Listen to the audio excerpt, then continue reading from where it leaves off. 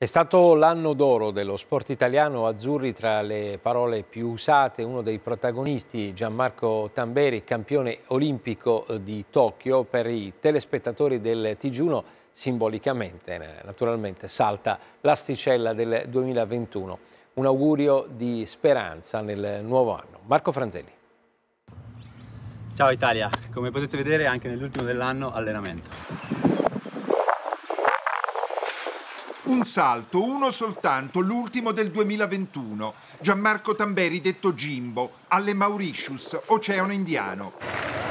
La vita gli ha insegnato che per raggiungere la vetta, ai 2,37 m, l'Olimpiade... Andiamo Gianmarco! Siamo sulla Luna! Non bisogna farsi spaventare dalla salita. Perché si parte sempre dalle basi, dalle misure più basse, per poi salire centimetro dopo centimetro verso altezze mai raggiunte. Per questo vi mando un abbraccio con un augurio speciale. Spero che il vostro 2022 possa essere ciò che è stato per me l'anno che si è appena concluso.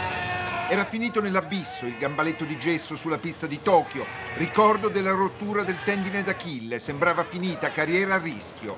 La medaglia d'oro è arrivata scegliendo di non fare lo spareggio con l'amico Mutaz Barshim, quell'abbraccio che resterà nella storia. Insieme sono usciti dalla crisi.